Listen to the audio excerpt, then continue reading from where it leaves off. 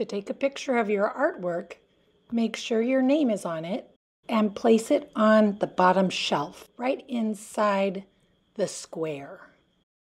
If the iPad is asleep, press the home button one time to wake it up and two times to get to the home screen. From there, choose the camera app, tap the screen to focus, wait for it to focus. Now press the white button. Tap to focus, wait, press the white button. Tap, wait, white button. Tap, wait, white button. And don't forget to take your work with you.